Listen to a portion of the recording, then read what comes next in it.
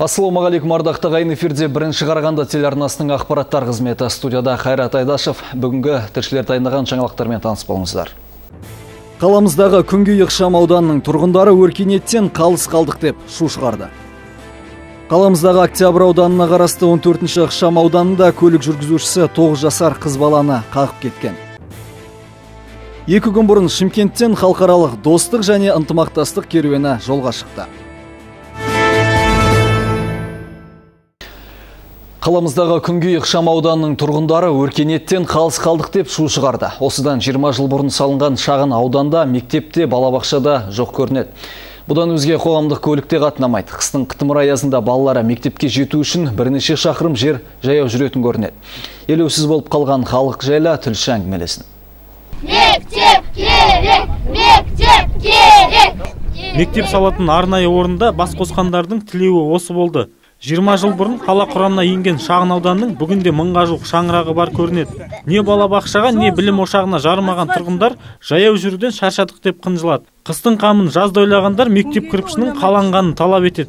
Кейбірде жолдасымыз жұмыстан қалып машинамен апарады. Кейбірде жолға шығарып салып автобусты бірге күтеміз. Жағдайлар болды что автобустар өтіп кетеді. Проездной жүрмейді ол жерде мысалы. Қыстай мен тасыдым нолевой классқа бардым бесінші мектепке үйге бастады а биыл бірінші классқа барады. Тағы да қыстай тасуым керек. Қыстай аяз боран ешқандай не жоқ. Мына он алтыншы автобус дейді бірақ автобус жүреді. Оның өзін қыстың күні как раз сентябрьден бастап тоқтатып тастады үшінші автобусты қыстай автобус жүрген жоқ. Мың тоғыз жүз сексенінші жылы құрылған күнгей ықшам ауданында екі жүзден аса оқушы бар. Бүгінде олардың барлығы қала орталығындағы мектептерге қатынап оқуда. Аялдамаға жету үшін де үш төрт шақырым жаяу жүретін оқушылар автобустың өзін бір сағат күтуге мәжбүр екен. Осындай қиындықтардан әбден мезі болған күнгей ықшам ауданының тұрғындары өз жерлерінде бір мектептің бой көтеруін басшылық басты назарға алса дейді. Мен осы жерде тұрамын. Бізге мектеп керек. Өйткені анау жаққа жету үшін светофорға дейін. Ең аз үш шақырым жүру керек. Ал мен санамаймын анау участок бірдегі адамдарды да. А сол солар да біз, біздер де жүр, жеткенше уже енді жаяу жеткенше бір бес шақырымдай жүреміз. Автобус кейде жүреді кейде жүрмейді. Мына жерде бізде турник бар ол жерде не ешкім орын алып жатқан жоқ. Сол жер бос қой орын сол жерге мектеп салуға болады. Балалар жолда аялдамаларда үсіп тоңып қалады қаладан небәрі үш төрт шақырым жерде орналасқан шағын ауданның мәселесімен шенеуніктер танысып кеткен еді. Бірақ мектепті уәде еткен әкімдіктегілердің ісі тек сөз жүзінде қалған дейді тұрғындар. Ал күнгей жұртының талабы нақты қашан орындалатынын жауапты мекеменің өзі де қадап айта алмады. Аудандармен басқа мөлтек аудандармен салыстырғанда ол кісілердің көрсеткіші төмен.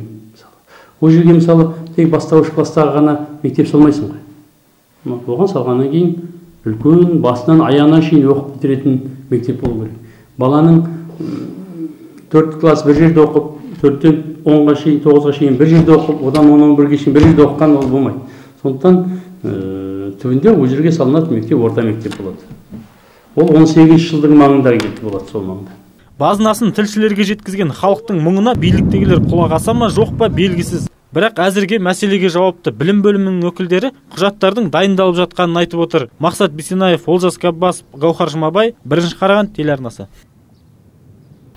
Қаламыздағы Октябрь ауданына қарасты 14-ші ықшам ауданында 9 жасар қыз баланы жеңіл көлік жүргізуші қағып кетіп, ізін суытқан. Оқиға салдарынан жарақат алған бүлдіршін тез арада жансақтау бөліміне жеткізілді. Жол көлік оқиғасын көзбен көрген Анастасия Иванова жарақат алған қыздың барлық көлік бағдаршамның жануын күтіп тұрған мезетте жаяу жүргіншілердің жолын кесіп өтпек болғанын айтады. Сөзінше жоғары жылдамдықпен келген жеңіл автокөлігі өрімдей қызды қағып кеткен. Соққының қатты болғаны соншалық оқушы 15 метр жерге ұшып кеткен.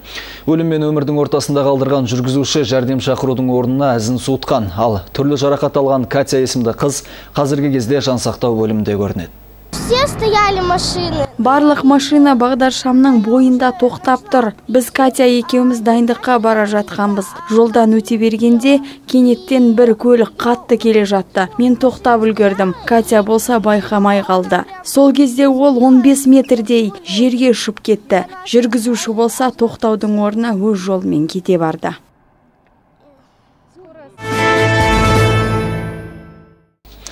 Осыдан бір апта бұрын қаламызда бір сауда орны мен төрт ойын сауық орталығы өртенген еді. Ірі өрт жайлы хабарымыздың бірінде айтқанда болатынбыз. Бүгінде тілсіз жаудың шығу себептері анықталып отыр. Төртінші маусым күні болған от бес бірдей дәмхана лаулаған. Апат түс мезгілінде болғандықтан ас ішуге жиналғандар мен жұмысшылар уақытылы тысқа шығып үлгеріпті. Абырой болғанда зардап шеккен жоқ. Қызыл жалын екі сағатта зорға ауыздықталған болатын. Төтенше жағдайлар департаментінің қызметкерлері өрттің шығу салдарын анықтады. Айтуларынша қызыл жалын дәл сол кальян тарту бөлмесінен тұтанған. Учитывая характер возникновения и развития пожара, а, наши специалисты пришли к выводу, что пожар, э, причиной пожара послужило, а, послужило тепловое, тепловое воздействие открытого источника зажигания. То есть это могла быть свеча, оставленная без, без присмотра, это могли быть зажженные угли для приготовления кальянной смеси и так далее. Аталған апат бойынша қылмыстық іс қозғалып, құқық қорғау органдарына тапсырылды. Қазіргі таңда тергеу амалдары жүріп жатқаны жайлы ішкі істер департаментінің баспасөз қызметі баяндады. Аталған факт бойынша қылмыстық іс қозғалды, тергеу амалдары жүргізілуде, тиісті сараптамалардың барлығы тағайындалды. Құрметті көрермендер, алда шағын жарнамалық үзіліс көгілдір экраннан алыстамаңыздар. Көрсетілім демеушісі Galaxy Group компаниясы алюгал галвин херкюль сауда белгілерімен. Торговая марка Галвин представляет. Эконом-серия профиль Галтек 53 серии. Эконом-система трехкамерных профилей монтажной шириной 53 мм представляет собой качественное и экономичное решение. Если вам нужны внутренние перегородки в магазин, офис, балкон или лоджию, это ваш профиль Стандартная система профиль Галвин. Профиль Галвин 60 серии. Это система четырехкамерных профилей с монтажной шириной 60 мм. Идеально подходит для любого климата и региона. Система стандарт относится к классу А, а значит полностью соответствует современным требованиям качеству оконных и дверных профилей. А теперь новинка. Серия «Эксклюзив». Пятикамерный профиль Галвин 70 серии. Монтажная ширина 70 мм. 5 камер и наличие дополнительного паза для резинового уплотнителя значительно повышают тепло- и звукоизоляцию. Толщина лицевых стенок 3 мм. Помимо белого цвета, профиль Галвин выпускается в шести цветах. Золотой дуб, махагон, мореный дуб, темно-коричневый, орех и серый. Но и это еще не все. Имеются профили односторонние, внутренней и наружной ламинации всей цветовой линейки. Все профили торговой марки Galvin и Galtec не содержат свинца и на 100% соответствуют санитарно-эпидемическим нормам. Профиль Galvin – морозостойкий, надежный, прочный. Шомылу маусымында тұрғындардың қауіпсіздігіне қатысты төтенше жағдайлар қызметкерлері брифинг өткізді. Ағымдағы жылдың басынан бері судағы қауіпсіз ережелерін сақталмаудың кесірінен 5 адам суға батып қаза тапқан. Қарағанды облысы бойынша 400-ден астам су қоймасы мен мыңнан астам өзендер бар. Ал облыс төңірегінде 140 мектеп жанындағы және 6 қала сыртындағы арнайы балалардың демалатын лагерлер орналасқан. Оған қарамастан 58 жұмыс істейтін 36 қараусыз қалған жазғы демалыс орындарда ескерілген. Төтенше жағдайлар департамент қызметкерлерінің пайымдауынша адамдардың суға батуының басты себептердің бірі шомылу кезінде қауіпсіздік шараларын сақтамай, жағалауларда мас күйінде шомылу болып табылады суға батушы адамдардың көптеген салдары мен себептері бар. Оның біріншісі мынау балалардың өліміне қатысты көптеген ата аналар суға барған уақытта өздері ішімдік ішу арқылы балаларын қадағаламайды. Я болмаса күн ұзаққа мынау каникулда жүрген балаларын қадағаламаудың арқасында суға кету кетіп қалу оқиғалары мысалы болып отырған.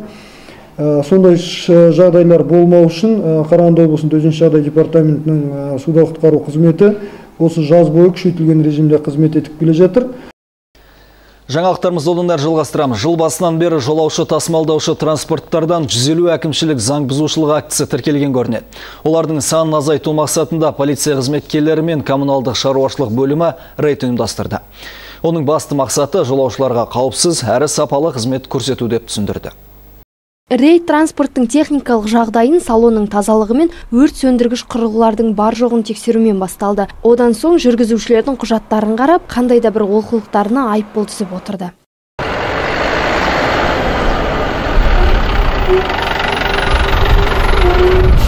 Қаладағы үлкен және шағын автобустардың бәрі дерлік тоқтатылып әкімшілік заң бұзушылықтарға еш аяугершілік болмады. Өйткені олардың бір қателігі үйреншікті әдетке айналып кетуі. Әбден ықтимал дейді қалалық жолаушы транспорты секторының меңгерушісі азамат иманбай. Айта кету керек осы жылдың алты айында жүз елу әкімшілік заң бұзушылық тіркеліп бес айлық есептік көрсеткіш шамасындағы ақшаларынан қағылған в первую очередь біздің басты мақсатымыз заңды бұзған жүргізушілерді тәртіпке алу.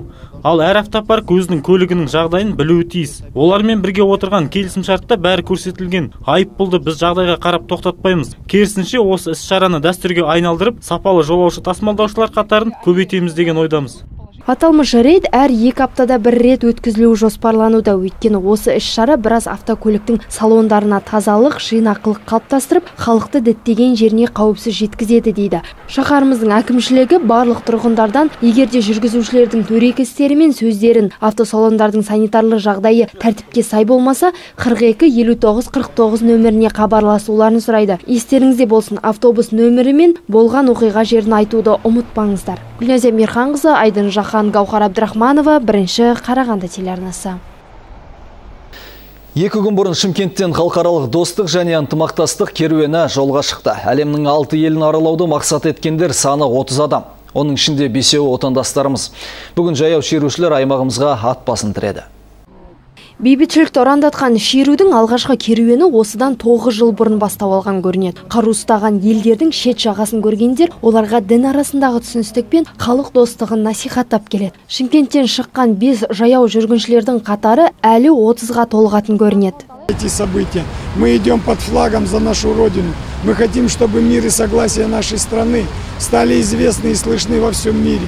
Мы живем такой жизнью, и мы предлагаем, чтобы люди разных стран поддержали этот порыв нашего президента, и чтобы мы стали инициатором мира между народами и согласия между религиями во всех странах. бұдан әрі бейбітшілік керуені ресей украина румыния болгария және соңғы аялдамасы греция болмақ екі айға созылушы көште оларға 7310 километр жүру жоспарланып қойыпты Участники марша проезжают по всей территории до Одессы, а с Одессы выходят пешим маршем. 27 километров проходят пешим ходом 6 дней в неделю. Один день в неделю отдых.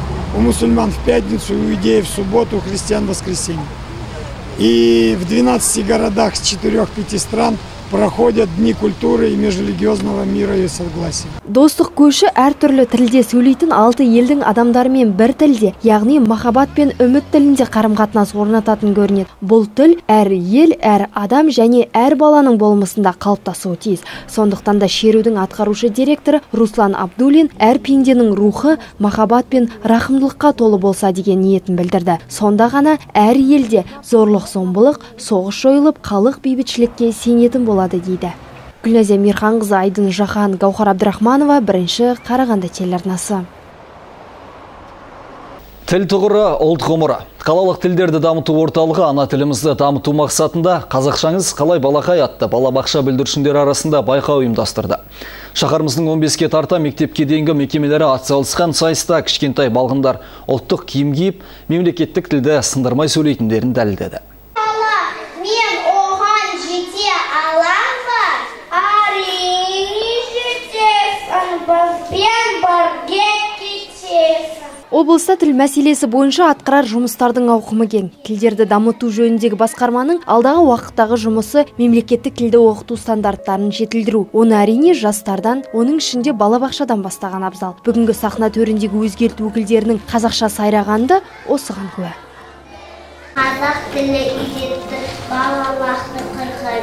қалқан атты бақшада келіп мен анасымен боламын. Өзге ұлт өкілінің қазақшасының тазалығы ұлттық киім киісі және сахнада өзін емін еркін ұстауына қазылар алқасы әділ баға беріп отырды. Ең бірінші әр балғын тәрбие алып отырған мекемесін таныстырып одан кейін ертегі көріністерінен үзінді көрсетті. Мұнда алдар көсені де ертөстікті де батырларды да бүлдіршіндердің өздері сомдады. Ал салт дәстүр бойынша сахнада қуыршақтың тұсауы да кесілді.